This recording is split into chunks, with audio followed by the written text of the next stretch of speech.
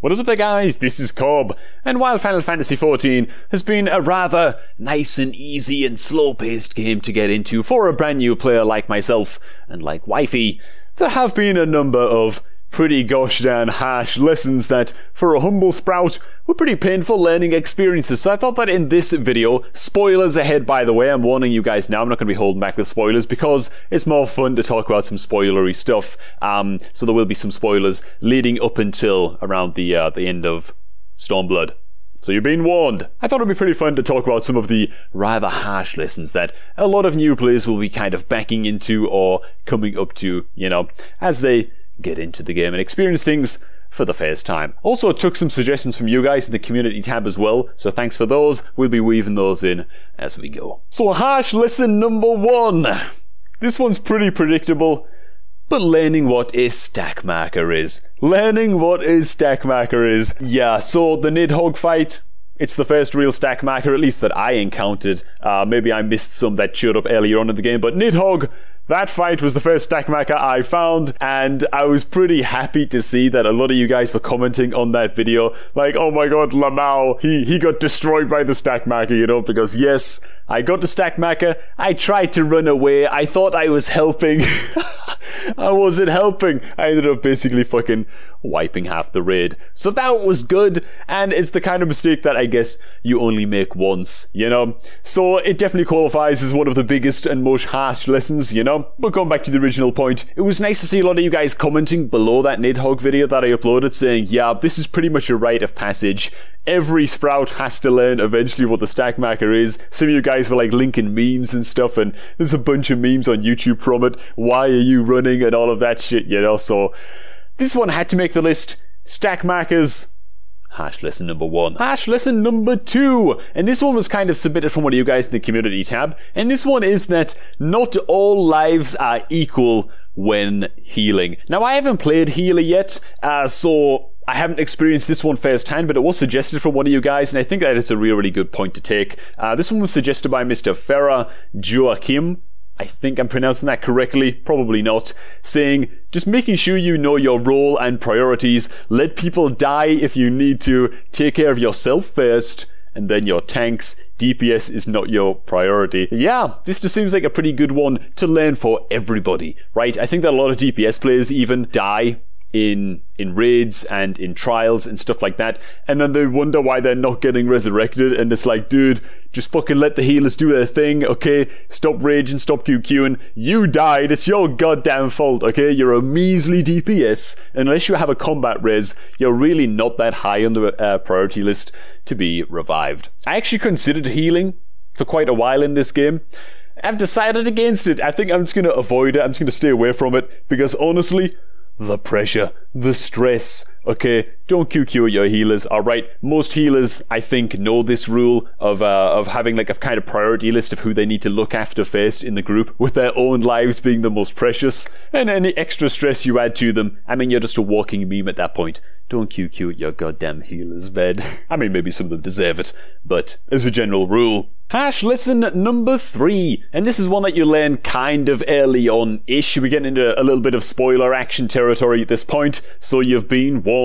And that is that Lalafell just ain't all that cute, man. Well, okay, they are to look at, but the more Lalafell you meet as the story unfolds, especially through, you know, the end of A Realm Reborn and through Heavensward and stuff, it's like, man, these, these Lalafell, they're little bastards they're little bastards, man. You guys warned me about this shit. You were like, man, don't trust the Lalafell, man. Because I made a video talking before about how, you know, it's one of like, uh, it's just kind of like a habit for a lot of players to go around and forward slash pit Lalafell, you know? Just because, well, they're playing Lalafell. Oh, look at that little guy, you know, get a little pat on the head. No, man, Lalafell are bastards, okay? Yuyuhase, Lolorito, Teleji Adeleji. Man, you know what? I don't think I'd ever say this, but even Tataru's got a bit of a mean streak in it. You know what I'm saying? Tataru's got some craziness going on, especially when it comes to money and Gil. But Yuyuhase, dude, Yu Yu fucking Hase, let me tell you something. I can't wait till we catch up to that little bastard. He's still being brought up in the plot every now and again, just kind of name dropped uh, throughout Stormblood. Oh man, Oh man, that tells me that eventually we will see that little fuck again. And I am gonna cave stomp that little bastard, and it's gonna be great, man. Now, I really, really hope that we do catch him up eventually, and it's gonna be grand. Hash lesson number four! And maybe this one was just hash for me, because I'm the kind of guy who, in my MMOs and in my RPGs, I'm a big completionist. I like to just, I like to just do everything. I'm not really bothered about doing like the hardest stuff in the game. I used to be, um, when I was a younger gamer, and I had more time to put into these things, but now I just want to experience a wide berth of things, right? I want to do everything. a casual hardcore gamer, if it can be called such a thing. Yeah, if you're going to do that in Final Fantasy XIV, plan four or five years in advance. You ain't going to do everything, man. This is something that, again, I've had to realize personally myself a little while back, I think it was like a couple of months ago, I was talking about things that I want to do in the game. I want to level all of the professions, all of the crafting jobs. I want to level all of the jobs, all of the classes. I want to do all of the side quests, all of the blue quests, experience every dungeon, every raid, every this, every that. Collect all the triple triad cards, you know, all of the sightseeing logs, all of the hunting logs, all of that stuff. Yeah, next expansion's coming up. It's going to add a bunch more stuff on top of all the things that I want to do, you know? It's like, dude, realistically, with how long I actually have to play per week, which really isn't that long, I'm going to be here for like at least another three or four years, man. Maybe longer because in three or four years, who knows, a new expansion might be rolling out as well, you know? So, yeah, if you're a completionist gamer, a harsh lesson is going to be that you got a long fucking road ahead of you. hash lesson number five. Player houses get demolished if you don't visit them often enough. This one was a submission from Mr. Zenovus, who said on the community post, if you get your hands on a house, the owner has to enter once in a while. I believe it's every 30, uh, 30 days at the moment. Or your house will be demolished and your land put up for sale. Now, again, this isn't something I ex- uh, experienced myself just yet, but I know and have heard anecdotally that the housing market and the housing trading scene and stuff like that is extremely fucking competitive, extremely competitive. Um, I've heard that there are even like dirty games that are played and stuff in order to uh, for players to be able to acquire houses um, and keep a, like a monopoly on the system, stuff like that. And there's all kinds of uh, there's all kinds of shady stuff that goes on, you know. So I don't know too much about it, other than I know that it's hyper competitive. And once you get a house, you hold on to that shit like it's the most fucking precious thing in your life because it might just be. And so, yeah, while I haven't experienced it myself, I imagine it is a pretty fucking harsh lesson for you to log in one day after taking a month off and seeing that your house is just gone and some other, some little Lalafell called Yuyuhase has fucking moved in and you're homeless. I can imagine that being pretty feels bad. Hash lesson number six. If it looks like you can fall off the edge in a boss fight, you can fall off the edge in that boss fight. This is one that you learn kind of early on with Titan, and it's kind of like a general rule that uh, goes on and continues with, uh, you know, dangerous edges around the sides of the boss pit. Um, starting with Titan, going into like Shiva, and then like uh, Shinryu and Zenos, They kind of have these mechanics as well, where if there's a ledge you can fall off, you can probably fall off the goddamn ledge. And it's not just that. Well, Shiva actually doesn't really have that exact mechanic, but there's certain other boss encounters as well where this uh, mechanic sort of exists, where if it looks like the ledge is dangerous, even like the spiky things around it, or shadowy tendrils, or or there's like fire there, or or something like that, chances are the boss will almost definitely have some kind of movement altering mechanic, you know? So with Titan, it's a straight up knockback. With uh, the Zenos fight in the Ala Mhigo dungeon, um, he has like knockbacks and like pushes and pulls and stuff like that, you know? So that kind of thing can happen. Basically, if it looks like the edge of the boss chamber is dangerous in some way, expect movement altering mechanics to be in the fight. It's good to know if you're going in blind. Well, if you're watching this video and you're and you closed it because I warned of spoilers coming up, you're not going to know about this, and so you're probably going to die versus Titan, which is fucking hilarious. But there you go, man. Hash lesson number six. Hash lesson number seven, moving straight on. This is one that I added. A Realm Reborn does not end after the Praetorium. Why is this a harsh lesson? A Realm Reborn just isn't that great compared to, I mean, look, man, look. I'm sure it was like okay for the time. It does a good enough job of like setting the stage, but the pacing is kind of glacially slow. and I think that a lot of people, uh, even people who are like really die-hard fans of FF14 and, and love every aspect of the game and really immerse themselves in it, most people can still admit that, you know, A Realm Reborn was understandably a step lower than the expansions that have come later on, especially when you set it up against the likes of Heavensward. I mean, goodness me, uh, is the difference, you know, night and day when it comes to pacing and writing and stuff. And so it was with great dismay that I realized that yeah, A Realm Reborn, it doesn't end with a Praetorium, it doesn't end with those ending credits. You've still got a fucking long way to go, and it's a it's a hell of a slog, man. It's a hell of a slog. I actually saw somebody in the in the little Sprout chat, I forget its name now, the Novice Network. The Novice Network, right? I saw somebody asking, okay, so um I just finished Praetorium, like when do I get to Heavensward? And it was like yeah, like the post patch content for A Realm Reborn is basically as long as the content that takes you from level 1 to 50. Just again, you know? He's right, goes on for so long, the post-patch slog, so that's definitely a harsh lesson.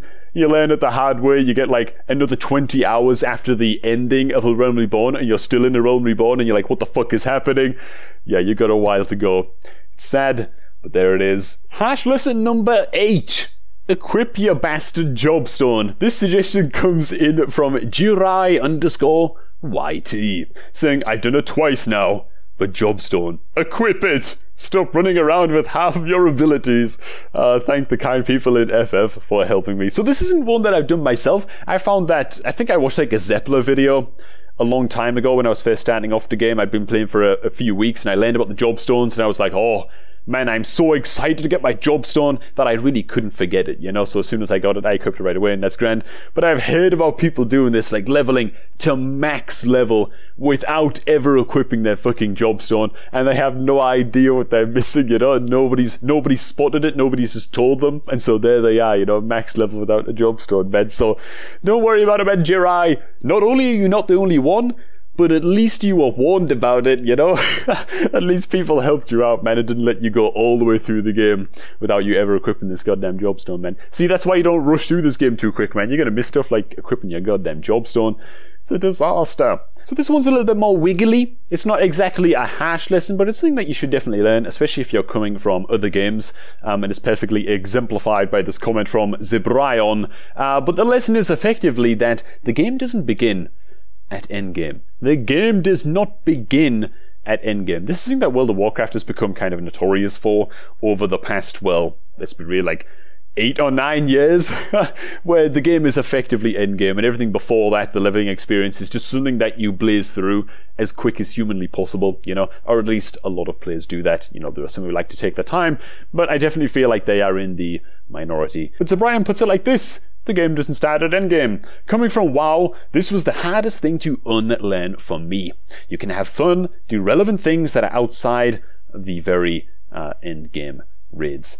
And it's exactly correct, man. I think that honestly, our boy Asmongold is the best example of this. It's like, even with the very limited amount of time that I have to play week on week, um, this dude spends like two weeks three weeks, you know, at the end of every expansion, just like checking out mounts, doing fly, uh, the, like gold saucer shenanigans, um, checking out all of like the extreme raids and extreme trials and stuff like that, and and doing all of that fucking stuff, you know, and farming the gear, and that's the way it's meant to be, you know. Now, unfortunately, if I was to do that, with the very limited amount of time that I have to play, I'd probably still be in, you know, the beginnings of fucking Heavensward right now. And maybe a lot of you guys, like, maybe a lot of you guys would say that's fine and stuff, that's fine, you know, take your time, there's, there's no rush, there's no that. But at the end of the day, I do kind of want to progress to the main story. Right now, the main story quest is the main reason I play the game, which is why I'm kind of pushing through ahead with that, and I will eventually go back and do all of that other stuff once I am at uh, max level and fully caught up with the story. So, that's my plan, but this advice, I don't think this can be reiterated enough for WoW players that come to the game and just blaze through as many quests as they possibly can every single and like they're not reading it they're not watching any cutscenes they're not reading anything they don't give a damn about it. They're just trying to get to endgame because they're locked into this mindset that have to get to endgame have to get ready for the new expansion must get geared must be competitive you know? And it's like the difference with WoW and FF really is that WoW is an MMO FF is an RPG I mean they're both MMO RPGs but WoW is an MMO first and FF is an RPG first at least in my opinion, at least in my sproutly opinion, you know. So there you go. Hashtag number nine. Game doesn't begin at endgame. Hash lesson number 10, gosh darn it. And that is that you only experience the story for the first time once. So this comment came in from Mr. Victor, and I'm kind of glad that I put this one last just coincidentally because uh, it just kind of relates to the point that I just made about FF being an RPG first and foremost and MMO uh, second, or it's very, very secondary, you know, to the actual gameplay cycles that you go through.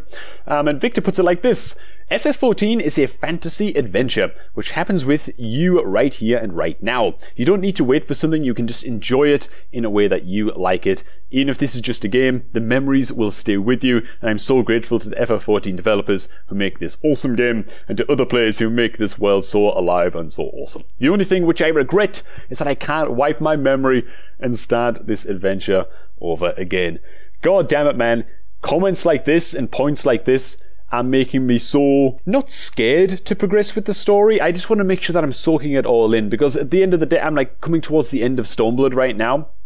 Or I'm in like the post content, you know, for, for Stormblood right now. And then after that, there's like uh, Shadowbringers, you know, and then the new expansion's coming out, and so it's like I'm almost caught up to the end of the current uh, main story, you know, and I don't know how I feel about that. I just hope that, well, this is part of the reason I like recording so much. Actually, I must have like 300 gig of just shit of clips of me and Sophie reacting to cutscenes and, and character moments and cool story moments and stuff from all of the games so far. Uh, just saved on my external hard drive just for the memories, you know? And there's a lot of them that, and I'm never going to upload them to YouTube, but I'm just kind of keeping them for myself, almost like a little, uh, little adventure album. You know what I'm saying? So, I totally get this. I get this point. I mean, at the end of the day, there are still going to be players who just want to kind of skip ahead and just say, well, you know what, I just don't have time to watch all of these cutscenes. It's all too long, blah, blah, blah, blah, blah. And it's like, okay, okay, again, I mean, if that's the way that you want to enjoy the game and you do enjoy the game that way and it works for you, then by all means. But I think that the default position should be to try to at, le- at least try to soak in the story as you go because I think at this comment does stand Ben. You only get to experience the goddamn MSQ once, really, and have it all be fresh. So try to take advantage of that. I know things can be really dry throughout A Realm Reborn, but it's effectively setting the stage for a lot of the characters that are going to become much more fleshed out with better writing and better voice acting and stuff in later expansions. So it's worth paying attention, man. It's worth paying some heed. You know what I'm saying? Alright, and those are my top 10 picks for the harshest lessons in Final Fantasy XIV that all sprouts must undergo, realize, and accept at some point uh, within the first like six months of playing this gosh damn video game. Drop any that you think we've missed down below in the comments. I'm gonna wrap this one up with a long ass comment from Mr. Hippo Potato who went ahead and listed like seven smaller, uh, smaller lessons, I guess, that he feels are crucial for you new players as well, man. So here we go, dude. First of all, save glamour prisms by learning how to use the glamour plates. Yeah, I wasted like eight prisms, eight or nine prisms or something, just because I was a moron and I couldn't be asked to learn how to use the glamour plates. Yeah, watch a quick YouTube tutorial. It's totally worth it. It's going to save you a lot of goddamn prisms and you're going to have a grand old time. Next, he says, at any of the big aetherytes, you can open a sub-menu to quickly travel to any smaller aetheryte in the capital city he's, uh, cities he's talking about. So, that's a small thing. I think that was pretty self-explanatory. Next up, work on your squadrons ASAP. I don't actually know what squadrons are just yet. Maybe I should know what they are by now, but, well, there you go. And there's a bunch of other small tips here as well, talking about how to spend achievement points and goddamn what's this Kaiyoko weekly fashion report for some easy MGP. I've heard about that as well, but I haven't partook in that myself just yet. Read your goddamn tooltips for spells. Lots of stuff here, man. So by all means, pause and take some notes if you're a new player that wants a helping hand, man, from Mr. Hippo Potato. You know what I'm saying? Alright, thanks for watching, guys. I hope that y'all's enjoyed this chatty little FF14 video. I'm going to try to get back to making more videos like this in the coming days and the coming weeks and in the future. So, cheers everybody. Thanks to everybody who has subscribed to the channel recently. It's been an incredible resurgence in subscribers. Thank you so, so much to all of you who hit the join button below the videos and actually choose to become channel members. That's incredible to see as well. It directly helps support me financially so I can actually uh, justify putting time into, you know, creating these videos, man. It's been fucking amazing to get my ass back on YouTube, man, and get back to pumping out content for you all. So, thanks so, so much, everyone. Have a fantastic day, and I shall catch all of you guys just a tad bit later.